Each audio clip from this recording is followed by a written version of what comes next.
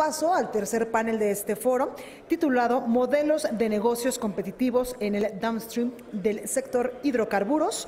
Doy la bienvenida a este panel a Roberto Díaz de León, presidente de Onexpo Nacional, también a Nelson Arismendi, consejero del Consejo Mexicano de la Energía, asimismo a Rolando Vázquez, director general de Oxogas, y también damos la bienvenida a Jim Branet, él es director regional de Oil and Gas de Siemens Latinoamérica. Para moderar este panel, cedo la palabra a Mauricio Candiani, él es socio fundador de Alenamenti y también fue miembro de la Comisión de Energía de la Cámara de Diputados y colaborador de El Financiero.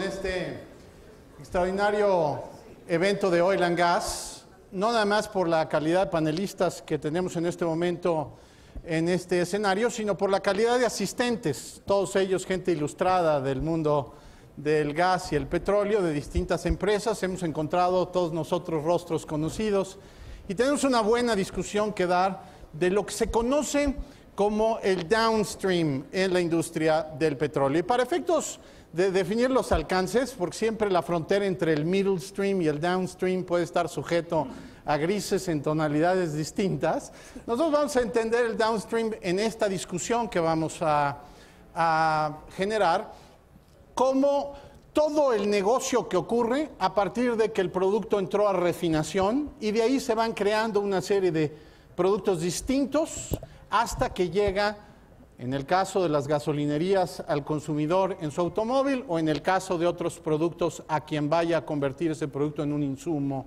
a su producción. Y vamos a discutir porque aquí se ha dicho en fuerte y en calladito que el sector está lleno de oportunidades y de retos. Pero tengo en el, en, en el panel que me ha tocado el gusto de conducir esta mañana, gente que está en distintas trincheras, en distintas ubicaciones. San Luis Potosí, Monterrey, Houston, doblemente Monterrey, y me autodesignaré el chilango representado en este panel. Pero desde el punto de vista de la refinación, que el consumidor no necesariamente todo el tiempo está enterado ni dónde está, ni la logística asociada, ni si funciona al máximo su capacidad o hay paros programados o no hay paros programados. Aquí a nuestros invitados, para los que escucharon al director general de Pemex, nos dijeron en el español más claro la perspectiva de petróleos mexicanos. Si hay que hacer nuevas refinerías en México, primero habría que discutir si hay que hacerlas, palabras textuales.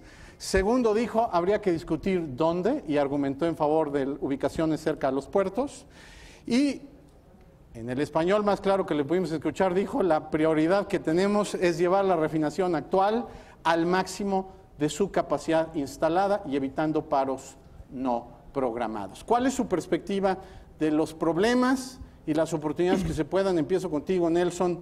Quiero eh, traer a la atención del público tus 40 años de experiencia en el mundo de la energía y el desarrollo tecnológico. ¿Cuál es eh, tu perspectiva de la refinación en este país? Bueno, básicamente, eh, a pesar de que somos un país eh, rico en hidrocarburos, eh, hoy en día, como mencionamos, importamos el 60% del gas, importamos el 50% del gas LP, y el último trimestre la capacidad de refinación estuvo trabajando muy por debajo, casi en los 30%, eh, por eso coincido con el director general, que ahorita es fundamental, y importamos 7 de cada 10 litros de gasolina. ¿no? Entonces, es fundamental eh, acelerar al máximo el que trabaje a su máxima capacidad estas instalaciones de refinación.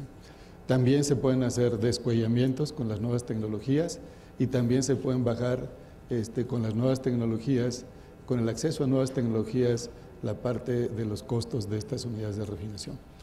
Eh, en ese mismo sentido, también es importante en la parte, en la cadena de atrás, impulsar la producción de petróleo y gas asociado, que este tipo de petróleo sea un poco más ligero. Este, por el otro lado, los yacimientos no convencionales, donde el 65% de las reservas de México ahí es donde están, y que te proporcionan, uno, gas, Dos, gas LP y materias primas para la petroquímica. Y tres, crudos ligeros que podrían ayudar a aumentar y mejorar la capacidad de refinación. Ok, eso es en cuanto al suministro de crudo, me quedo con ese comentario. Hay, hay mucha gente aquí preguntándose cuándo van a empezar los hoy conocidos periodísticamente como farm outs, pero veámoslo desde el punto de vista de la cadena de la integración, todas estas oportunidades que el sector privado hoy puede empezar a ver alrededor de la cadena de refinación y en la infraestructura asociada al suministro y, luego distribución de sus productos. Eh, eh, Jim, eh, desde tu perspectiva y como encargado de Siemens, no nada más de México, sino de la región de Latinoamérica, cuando tú ves, por ejemplo, que en 2016 los paros o las principales causas de paros no programados tuvieron que ver 63% por suministro de hidrógeno, 20% por fallas en equipos y procesos, 11% eh, por fallas en suministro de servicios, tener que parar una refinería porque falló el vapor, el agua o la electricidad, y 3% por retrasos en reparaciones. Con tu perspectiva en América Latina, ¿dónde ves oportunidades de farm outs y de negocios integrados y de áreas de mejora? Yo, creo lo que escuchamos del director general y, y que vimos en estas plantas ahora tienen que ponerlo operando eh, mucho mejor que están operando ahora. Eh, recién hicieron el acuerdo de hidrógeno asociado.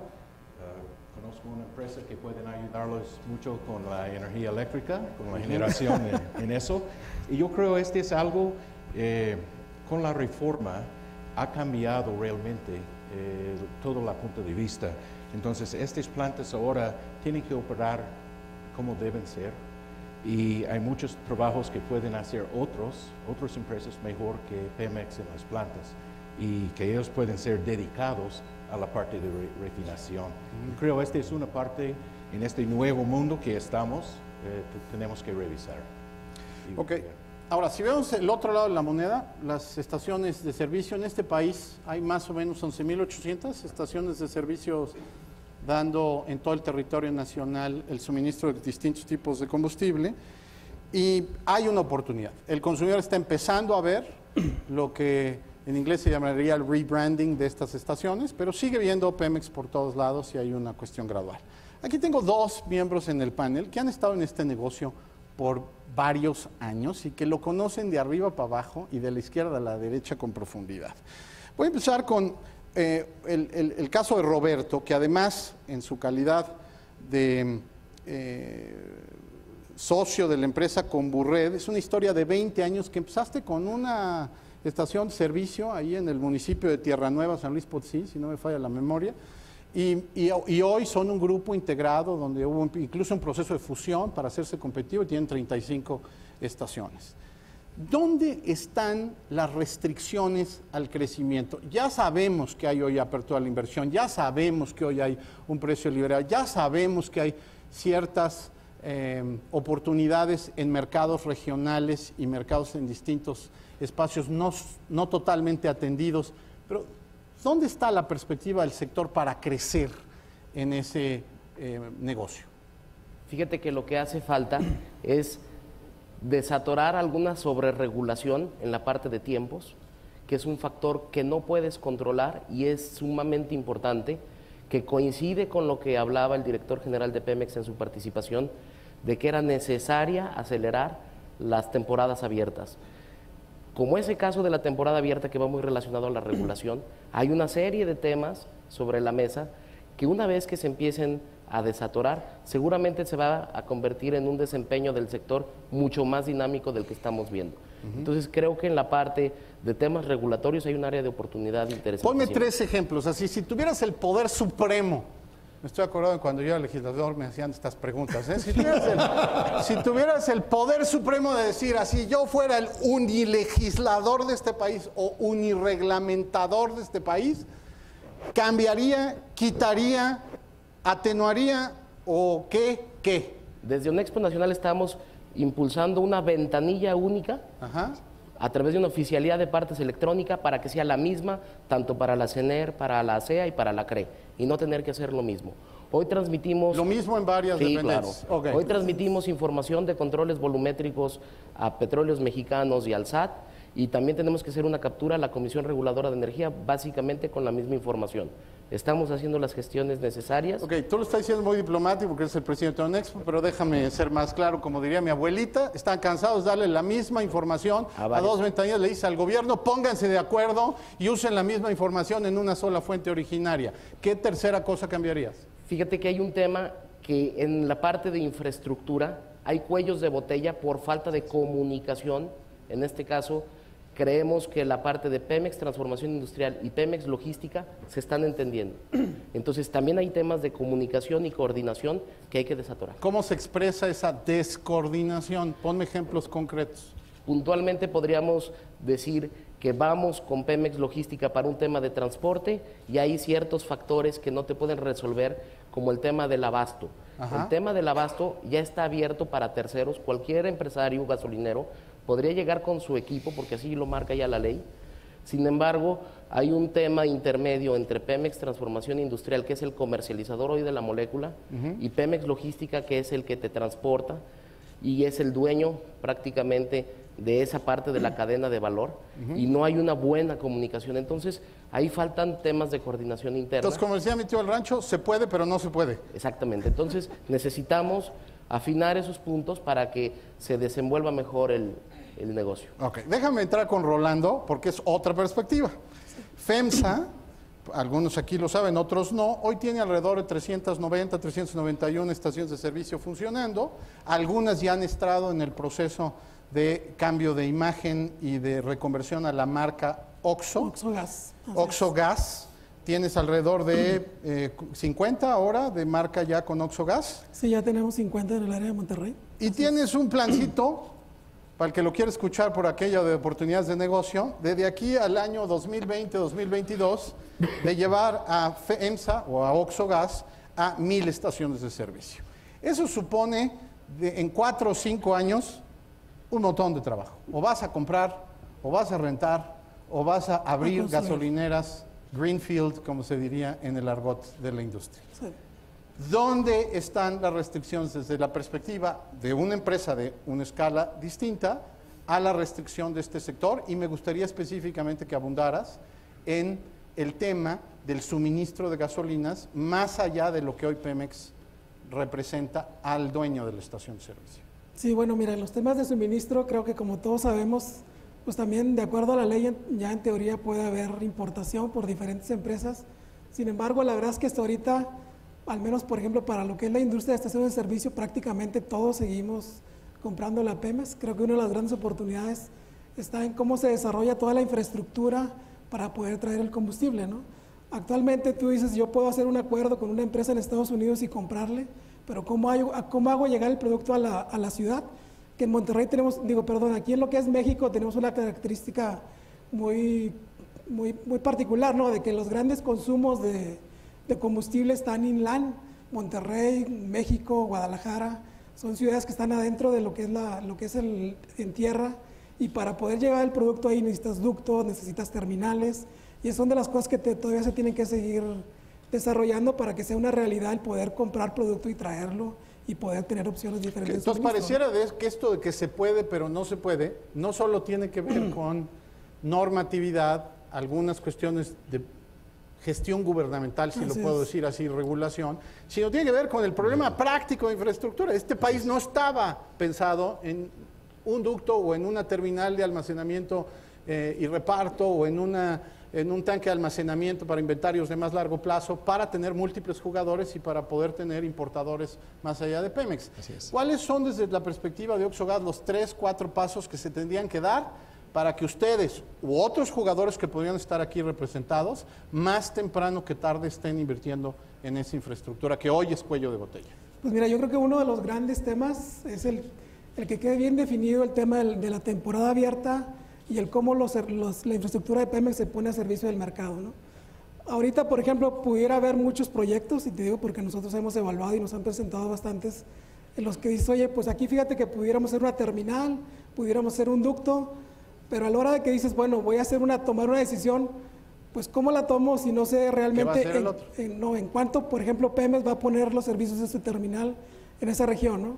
Si no tengo ese punto de comparación es difícil tomar una decisión de cientos de millones de dólares o muchos millones de dólares si no tienes claro a cuánto va a ser tu punto de competencia o de referencia que es Pemex en un momento dado, ¿no? Entonces creo que se tiene que ir dando todo este, terminando las temporadas abiertas y que Pemex ponga todo eso claro hacia el mercado para que el mercado pueda tomar decisiones y poder ir con esas grandes inversiones. ahorita regreso contigo con el tema del consumidor, pero Nelson, tú, tú eres director general del Consejo Mexicano de Energía y puedes abundar en estas definiciones inmediatas que, que tiene que hacer Pemex para darle claridad Sí. de las reglas de mercado, de las reglas de influencia, de las reglas de interés, si lo puedo decir así, dónde le va a interesar a Pemex estar y dónde algún día dirá, aquí no me va a interesar estar, ¿no? Sí. Y en, cuáles son esas definiciones. Y déjame correr el mismo ejercicio que hice aquí con los dos señores. ¿Cuáles concretitas tendría que definir? Mira, yo me iría más allá. eh, concretamente yo veo cuatro. Cuatro. Primera, la sobreregulación, que ya se mencionó, pero yo me iría a algo más ambicioso. A ver. Yo sería una ventanilla única, no por entidad, una ventanilla única, este, donde estuvieran todos, básicamente. Eso lo estamos empezando ya a hacer una ventanilla única para el sector de producción de petróleo y gas, donde existen toda una serie de entidades. Requieres eh, no es solamente un permiso, cuando requieres información, requieres estar enviando información 198 veces a una entidad, 148 veces a otra entidad, etcétera. Aquí es diario estar enviando y cuando hay ahora va a haber cambios por hora, eso va a ser imposible si no mete la digitalización, ¿no? Eh, por el otro, lo que queremos es una ventanilla única y una plataforma digital única, ¿sí? Donde esté el SAT, donde esté la CRE, donde esté la Profeco, donde esté CENER, donde esté la CEA, ¿sí? Y eso facilite las inversiones, por un lado, en cuanto a la sobreregulación. También que tengan la misma normatividad y también esté claro el tema de transferencia de custodia, que es otra de las mesas que tenemos abiertas. En temas de normatividad hay otros puntos que resolver, pero no me quiero extender en eso todavía. La parte segunda es la parte de infraestructura, ¿verdad? Lo que queremos también es un piso parejo para todos, ¿sí? Y en ese sentido es importante tener la definición de las temporadas abiertas y también, a diferencia de Senagas, donde hay un ente que en un momento dado, este, o en la parte de transmisión, en la parte de petrolíferos no hubo un ente independiente que pudiera hacer la planeación del desarrollo de la infraestructura que necesita el país, ¿verdad? Entonces, aquí tenemos que trabajar conjuntamente, sector público y sector privado, en una cuádruple hélice, que es el sector público, privado, académico y social, porque aquí también está in- involucrado los temas de impacto social, de, de licencia, de impacto social y ocupación territorial. ¿verdad? ¿Y el tercero? el, ter- el tercero básicamente es el de la innovación, que también estamos eh, eh, viendo. Este, vemos eh, no solamente como oil and gas, básicamente, sino ver el sector energético global. Va a haber, está habiendo cambios fundamentales y dramáticos a nivel no solamente de hidrocarburos, sino también de no renovables y también de biocombustibles, ¿verdad? Entonces, y también, eh, también cambios dramáticos en movilidad, cambios dramáticos en transporte, cambios en la parte de energía. Concretando en eso, este, yo veo varias etapas, básicamente, cinco etapas. La primera es, por ejemplo, en la parte de, una vez resuelto la parte de infraestructura y la parte de la sobreregulación, donde además incluso no se encuentra con la infraestructura para llevar a cabo la normatividad, como es la certificación de las gasolinas cuando se importa, ¿verdad? Esa es la parte que también falta, los laboratorios para certificación. Este, eh, es uno, empezar, dado que Pemex no va a hacer, y lo vimos hoy en la mañana, más que optimizar hasta el máximo en el corto plazo las refinerías, ¿verdad? Esto lo que implica es que tengas que importar, en un momento dado. Y hay blenders ya certificados que te pueden dar un mejor precio a una mejor calidad. El chiste es tener la infraestructura y la tormentead simple. A ver, déjame hacer una pausa ahí porque ya metiste la palabra precio. Hasta ahorita todo ha sido lo que falta, la oportunidad sí de crecer. Al ratito voy a regresar con Roberto en el tema de estaciones eh, de diversa índole para no irnos solo con la idea convencional de la estación servicio que conocemos. Hace relativamente poco, la autoridad federal tomó la decisión de incrementar el precio de la gasolina y de modificar la forma en la que el IEPS se ve cobrado y regresado en aquellas áreas donde hay incentivos o subsidios establecidos. El argumento primario de la autoridad fue que esta señal de precio era necesaria para que personas como ustedes pudieran estar en mejores condiciones de invertir en todas estas carencias que ya desde entonces se han estado hablando en mayor o menor grado. Ese nuevo sistema de precio está dando resultados. Nelson, primero díganme binario, sí o no. En tu opinión, ¿el nuevo precio está dando resultados, sí o no? En mi opinión, no. No, ahorita regreso porque en tu opinión, sí, o no. Sí. En tu opinión, Jim, sí o no. No. En tu opinión, sí o no. Yo digo que sí. Ok, está la cosa interesante. que hay, A ver, ahora sí, como haría mi profesor del IPAD, elaboremos el argumento. ¿Ok? Este, ¿Por qué no en tu caso? Eh, en, en, lo que estoy de acuerdo, eh, no es una pregunta que pueda ser binaria en ese sentido. En lo que estoy de acuerdo en, es que sí debe haber un desglose de la parte de precios en lo que se refiere de dónde obtienes, cuál es el costo de transporte, cuál es el costo de almacenamiento, este, dónde el costo de la molécula, etcétera. la carga tributaria. Eso está bien, eso está bien.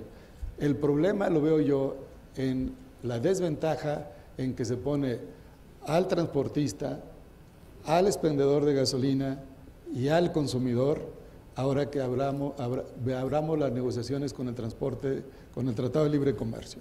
Déjame NAFTA ahorita de ladito que le vamos a entrar de lleno. Después. Pero tú dices, hay una desventaja en Hay una desventaja en la parte impositiva, de, que es 20% en Estados Unidos, 40% en México. ¿no? La otra parte está perfecta. No tenemos, ah, es, debe reflejar este, eh, los precios que en un momento se dan y que haya una libre competencia. Pero que haya una libre competencia necesita que haya una infraestructura completa para que haya esa libre competencia. Y también que puedan venir importación, también eh, por parte de Pemex, parte de importación, una logística eficiente, que haya, que optimices todos los factores. Hoy en día esos factores no están optimizados y las cosas no están dadas. Bien, Roberto, ¿por qué sí? Antes el precio era un precio nacional único, Hoy el precio reconoce la diferencia de llevar logísticamente hablando el combustible a las diferentes regiones del país. Hay un tema, como bien dice Nelson, impositivo, que hay un problema que tendría que resolverse. Sin embargo, hoy el precio se compone a través de un precio de referencia del combustible a nivel internacional que tiene una influencia por el factor del tipo de cambio, un tema logístico donde se reconoce lo que cuesta llevar el producto de la terminal de origen al destino, un precio de la terminal de destino al punto de venta, que se le conoce como la última milla, y finalmente esto ha venido a dar diferentes precios ya por región y se está eh, cumpliendo con el calendario de flexibilización de precios y apertura de mercado, el cual terminará el 30 de diciembre y estará completamente libre el mercado. Para aquí el caso de Valle de México, el 30 de noviembre se estará liberando el precio completamente. Creo que la fórmula es la ideal porque es la fórmula que funciona en el mundo. Ok, Jim, tú dijiste no. No, yo creo todavía eh, este está en desarrollo. Eh, realmente eh, las nuevas reglas no son todo establecidos. no es un mercado completamente libre todavía, entonces yo creo que es un proceso que no van a, todavía no sabemos cuándo llegará la fecha que es un mercado completamente abierto. ¿Y Rolando?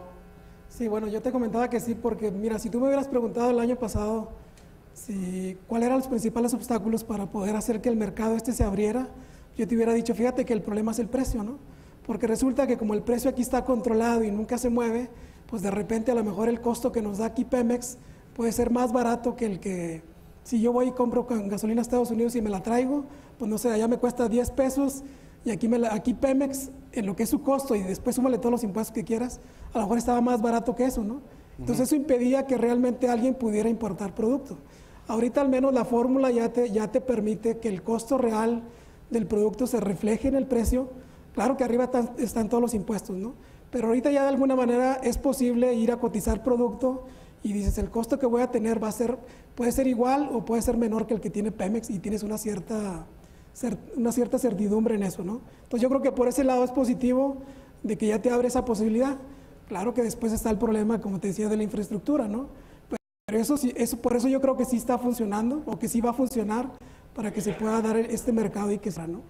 Claro que el tema de la competitividad con los impuestos, pues ese es ya otro tema más, de, más fiscal que habría que ver cómo se, cómo se corrige, ¿no? Pero al menos en lo que es la fórmula del precio, el costo real del producto, ya refleja en gran medida lo que es un mercado competitivo, ¿no? Lo que es un mercado competitivo. Desde el punto de vista de calidad de la molécula, a ver, cuando yo hablo con un transportista me dice que si quiere exportar no tiene la calidad de, de diésel que necesita en partes por millón de azufres. Cuando yo hablo con los consumidores me dirían, me preguntan por qué no tenemos como en otros mercados, el de Texas, donde tú eh, vives, Jim, cuatro tipos de gasolina y que yo pueda escoger según mi coche.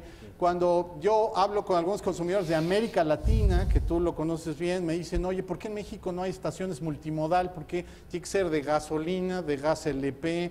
Y ahora empieza a haber puntos de distribución de electricidad para la emergente base vehicular eléctrica o híbrida que puede suministrarse con eso.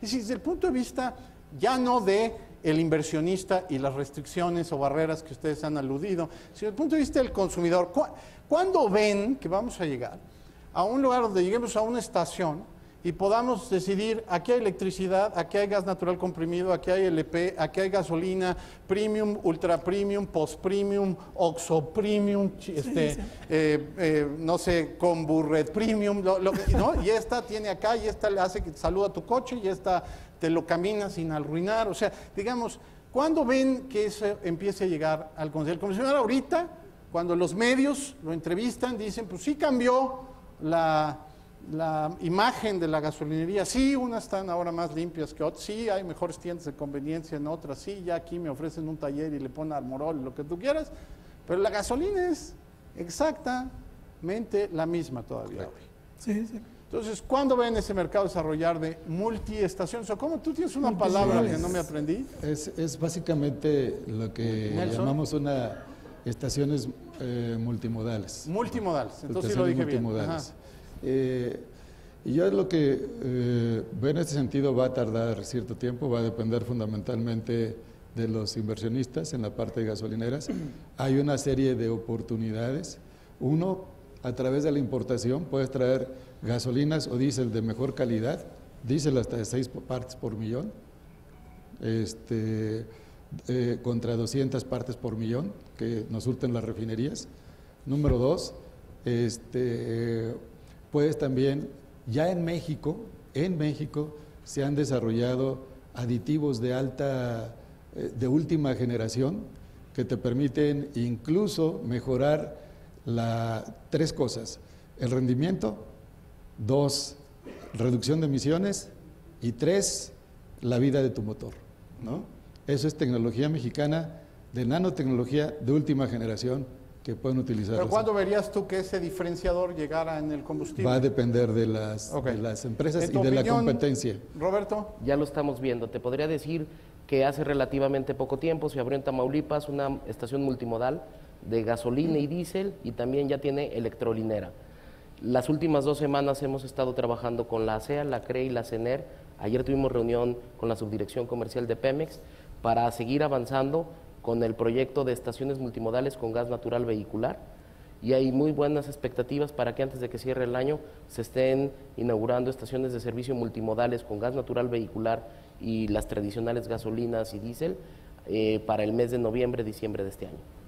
Interesante, pero además desde el punto de vista, em, Rolando, de infraestructura de ciudad, Tú decías los mercados más relevantes, Monterrey, Guadalajara, eh, desde luego el área metropolitana de la, de la Ciudad de México y, y algunas otras ciudades emergentes que, cuyos mercados seguramente han crecido de manera relevante. Pero si lo ves desde la perspectiva de ciudad, tú no quieres que la infraestructura se multiplique. ¿Cuál sería el tamaño de mercado idóneo, así a ojo de buen cubero? De pasar de 12 mil estaciones a cuántas te gustan? Bueno, pues ahí ya depende mucho de... Dame un número, más o Realmente, si, menos. si nos ves ahorita, creo que en México nuestra proporción de habitantes con... Con por- respecto a gasolinerías Respecto a gasolineras estamos como a, o sea, tres veces más que en Estados Unidos, ¿no? Tranquilamente. Tres veces así. más. Entonces habría que tener menos. Entonces, Pues más bueno, a si mi lo favor, así, ¿no? en el sentido de la ciudad, cuando tú le preguntas a los gobernantes, oye, ¿qué es más gasolinerías? Te dicen no. Cuando tú le preguntas a los vecinos, ¿qué es más gasolinerías? Te dicen no. Es decir, habría que aprovechar la misma infraestructura en eso y eso seguramente nos va a llevar a restricciones de regulación. ¿Cómo le hizo este eh, colega tuyo de Onexpo, el expresidente, si no me falla la memoria, quien abrió la electroli- eh, electrolinera, sería la manera Sí. correcta de decirlo, al lado de la gasolinería, eh, porque mi abuelita decía que gasolinero es el esposo de la gasolinera, entonces hay que decir gasolinería. Pero, ¿cómo le hizo para armonizar la legislación? Porque hace no mucho escuchado declaraciones de colegas tuyos que decían que la normatividad no lo permitía. Fíjate que lo que se hizo fue un mix donde se cumple las restricciones de distancia en la parte de estación de servicio tradicional, la restricción de distancia de la electrolinera, se marcan los radios de giro, se hacen los análisis y los estudios para eh, evitar cualquier tipo de riesgo, se lleva a el caso de estudio a la ASEA, a la CRE, se detonan eh, realmente la convivencia y se empieza a, a hacer, porque es algo que hay que hacerlo en México, no está diseñado. Hay la normatividad para una o para la otra por separado. Entonces, es arriesgarse, tener un poquito la iniciativa y va para adelante. ¿Tú ves la misma perspectiva, Rolando? Bueno, digo, yo creo que el tema este de, por nosotros lo estamos viendo como gasolineras multimodales, ¿no? En la que puedas en un momento dado ofrecer al consumidor la parte, la gasolina, lo que es el gas natural comprimido y lo que es el, en un momento también la electricidad, ¿no? De hecho, sí, la verdad es que desde el punto de vista técnico no hay gran problema. Si ustedes van a Argentina, van a ver que ya, el, no sé, 10, 15% del mercado se suministra con gas natural y tú ves una gasolinera donde hay, hay dos dispensarios de gasolina y hay otros dos dispensarios de gas natural y los ves tal cual. O sea, desde el punto de vista técnico no hay ninguna complicación. Aquí obviamente el problema, acuérdense que venimos de un modelo donde todas las gasolineras y las normas estaban puestas por Pemex. Éramos una franquicia Pemex que obviamente pues, tenía sus normas para que fuera nada más una, se vendiera pura gasolina, ¿no? Ahorita apenas están, se están creando todas esas nuevas regulaciones donde ya se permita tener eso. Yo creo que hemos visto muy buena voluntad por parte de- de la CRE, de las diferentes agencias, para empezar a armar esa legislación y que se pueda hacer. Y creo que hay bastante interés.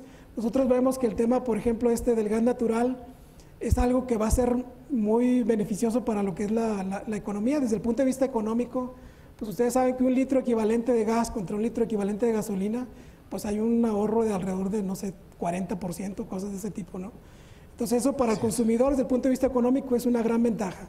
Creo que el otro gran tema es el tema ecológico, ¿no? El- lo que es el- la combustión con gas natural es mucho más limpia que con la gasolina. Entonces creo que desde el punto de vista económico y ecológico es algo que se tiene que, que, conviene impulsar. Creo que la, la- autoridad así, así lo está viendo. Nosotros también lo vemos. Creemos que el modelo para que esto funcione bien es aprovechar los mismos puntos de venta que ya tenemos en gasolineras y esas mismas convertirlas a multimodales para que pueda haber una proliferación más rápida de puntos de venta y que el consumidor tenga opciones. Muy bien, nos quedan aproximadamente unos 15 minutitos para cerrar reflexiones y me quiero subir ahorita con toda intención metodológica a hablar del tema NAFTA. Y Jim, you're the American in the group, así que voy a, voy a empezar con perspectiva porque eh, aquí hay gente experta en el tema de relaciones internacionales que estoy viendo en el auditorio y, y el tema energético va a ser parte de la discusión de NAFTA. No tenemos claro cómo va a acabar esa discusión, pero lo que no pudo ser en, en el primer TLC, porque teníamos nosotros un sector monopolizado, cerrado, estatizado y casi, casi monumento nacional intocable, hoy, veintitantos años después, es otra realidad, tenemos un mercado abierto, tenemos mercados que harían bien en integrarse y México se ha convertido en un cliente muy importante para los Estados Unidos en lo que ya decía Nelson, y el panel anterior lo aludió también, ¿no? tanto gas natural, gas LP, gasolinas, distintos combustibles líquidos y otros productos asociados a la cadena de refinación.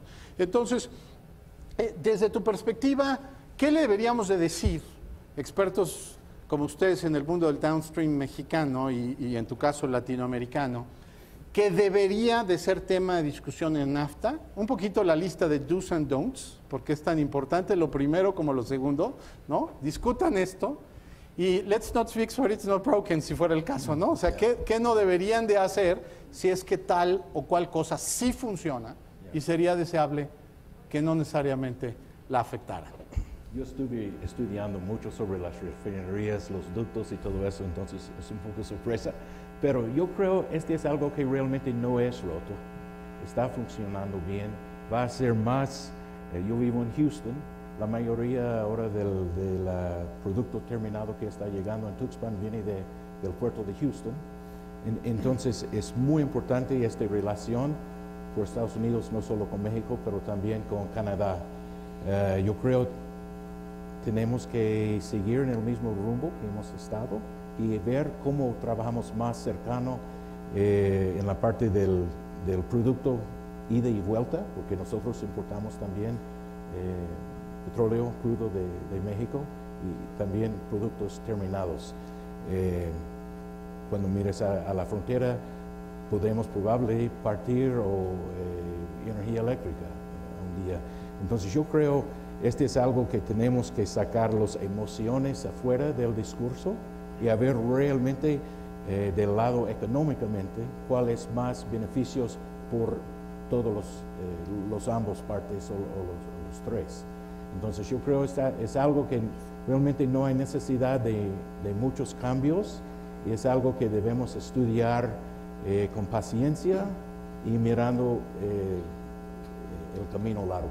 Mirando el camino largo. Yeah. Y además, una cosa, Nelson, tú, tú sé que quieres dar un punto de vista, te interrumpí hace eh, tiempo cuando estás hablando del precio, sobre el tema fiscal y de homologación de mercados. Y te voy a dar la palabra para que elabores al amparo de NAFTA, qué es lo que debería de ser discutido en este sentido.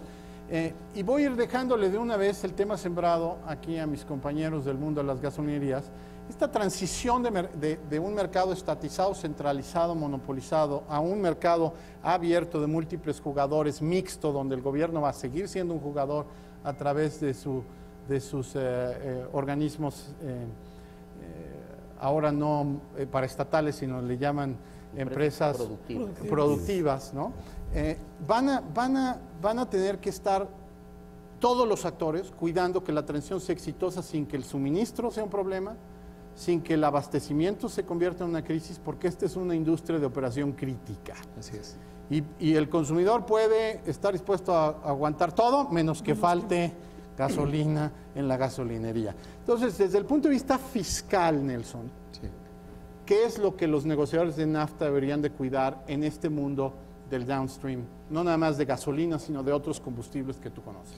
Sí, no, básicamente uno de los aspectos es no estar en desventaja, este, tanto nuestros expendedores como la parte de nuestros transportistas, ¿verdad?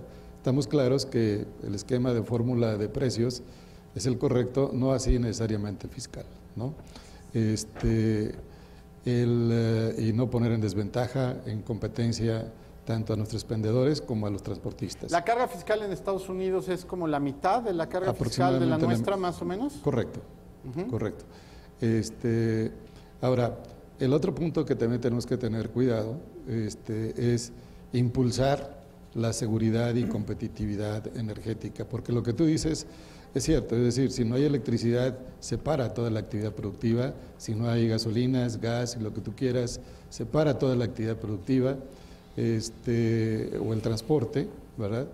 Eh, entonces, impulsar la seguridad y competitividad energética e impulsar el desarrollo económico sustentable para que el sector energético sea una palanca de desarrollo económico, social y con cuidado del medio ambiente es fundamental. Este, a mí lo que me preocupa también es que Estados Unidos y Canadá tienen salvaguardas para su petróleo y su gas, por ejemplo. ¿no? Entonces, Estados Unidos requiere una serie de permisos antes de poder exportar su gas, ¿verdad? Canadá también. Y tienes que cumplir con una serie de condiciones y cumplir primero con tus necesidades de tu mercado interno. ¿sí? Nosotros no la tenemos en nuestra reforma. ¿sí? No la tenemos. No la tenemos. ¿sí? Tenemos que también tener las salvaguardas para cuidar también, o sea, la reforma tiene que ir adelante, ¿verdad? Tenemos que hacer los cambios en políticas públicas que permitan acelerar el desarrollo este, adecuado para tener la competitividad y seguridad energética. Este, desde el punto de vista de Estados Unidos, tiene prohibido exportar crudo, ¿no? No así los, los refinados. Entonces, nosotros como México tenemos que primero atender nuestras necesidades, ¿verdad? Y después pensar en lo que son las exportaciones también en ese sentido.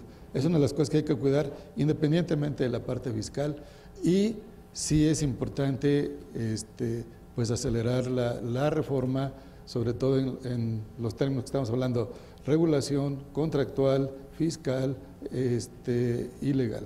Ok, Roberto, NAFTA, ¿cuál es la perspectiva que deberían cuidar los negociadores para este mercado? Piso parejo. Piso parejo. Elabora el argumento. Fíjate que nosotros vemos cierta desventaja, prácticamente lo que comenta Nelson eh, agruparía todo y creemos que si no están estas condiciones en igualdad de circunstancias, el empresario gasolinero que hoy tiene la oportunidad de invertir en toda la cadena de valor se vería muy impactado desfavorablemente. Entonces, el principal objetivo que nosotros vemos en el tema de negociación sería piso parejo. Rolando. Sí, pues digo, creo que eso es lo que nos permitiría ser competitivos, ¿no? Este, mira, digo, en este tema se ha hablado de lo del libre comercio. Digo, yo creo que hay que tomar en cuenta que estamos ahorita, nosotros estamos aquí muy cerca del hub de Houston, que es el, el donde más se produce gasolina, donde es más eficiente, y hay una sobreproducción para lo que es el mercado de Estados Unidos, ¿no? La, la, mayor parte de lo, que se, de lo que se exporta de productos refinados ahí, pues viene a México. Entonces creo que también del lado americano, de los productores de allá, va a ser muy difícil que permitan que haya algo que en un momento dado ponga, dificulte la exportación hacia México porque sus refinerías pues no se pueden parar, su principal cliente es México, entonces creo que por ese lado yo siento que va a haber una buena disposición de ambas partes para que siga, habiendo facilidades para que se mueva el producto. ¿no? Me llama la atención una cosa que no ha mencionado ninguno de ustedes cuatro. Parece ser que el capital no es restricción para el crecimiento, es restricción la burocracia, es restricción la normatividad, es restricción de un piso parejo, es restricción la infraestructura, es restricción permisología relacionada, pero nadie ha mencionado el tema de capital como una restricción al desarrollo de este mercado downstream con jugadores privados. Eh, es justo decir que allá afuera hay capital dispuesto para invertir cuando el proyecto adecuado está listo. ¿En tu opinión sí? Sí, sí, ¿En tu opinión sí? Sí. Sí. Y sí, ok. Ahora, chicos, para, para ir cerrando este asunto, tengo una pregunta del, del, del público aquí que tiene que ver con los negocios alternos a la venta propia de la molécula, si lo puedo decir así, lo que sea que la molécula acabe siendo. Durante años las gasolinerías de Pemex eran casi, casi así como sagradas, hasta para vender aceites había que tener un amigo en el gobierno, un contrato estratégico, y no quiero entrar en historias ampliamente conocidas. Eh, hoy no, hoy tienes en los hechos un punto de venta para muchas cosas, en los hechos una concentración interesante de consumidores de muchos otros servicios periféricos. Y aquí alguien nos pide que cerremos con una pregunta, es Roberto Díaz de León, ¿qué negocios alternos podrían haber desde su perspectiva? Y voy a cerrar con esto la ronda eh, para que nos dejen la mente en el futuro, en lo que viene, en las oportunidades que empiezan. Empiezo de aquí para allá, contigo, eh, Rolando. Bueno, mira, definitivamente yo veo en el futuro que en las gasolineras vamos a pasar a ser, tenemos que pasar a ser el, el, el ofrecer diferentes alternativas de energéticos, gasolinas, gas natural, electricidad. Creo que por ahí va a ser algo que se va a ver mucho en el futuro. Ahora ya que podemos tener en la gasolinera manejar diferentes cosas, pues obviamente lo que son las tiendas de conveniencia, lo que son carguas, talleres automotrices, todo lo que esté relacionado con el mundo automotriz, creo que son de las cosas que se van a ir proliferando cada vez más, ¿no? Ya las nuevas regulaciones nos permiten hacerlo de una manera mucho más fácil que lo que era antes, entonces creo que eso es lo que va a, a verse más en el futuro. ¿no? Jim. Yo creo que este es algo que el mercado va a empujar o, o manejar. Vas a tener este eh, eh, one-stop shop que tiene un poco de todo y hay otra gente que siempre está buscando el precio menor. Eh, con los cambios que estamos viendo, con los híbridos, con el LNG y CNG, donde puede tener eso. Entonces creo, eh, este es un nuevo mercado, eh, ha cambiado de, de ser solo Pemex y, y con este cambio el mercado va a manejar cómo van a llegar este es el futuro. Good point. Roberto. Mira, nosotros estamos viendo una transformación del sector pasando de ser gasolineras a lo que hoy ya vemos de verdaderas estaciones de servicio con baños limpios, con tiendas de conveniencia y próximamente va a migrar a ser centros de menudeo de clase mundial donde se van a comercializar energéticos, entre otros muchos servicios. Interesante. Nelson. Sí, básicamente yo lo que veo es que viene una transformación completa para el sector. ¿no?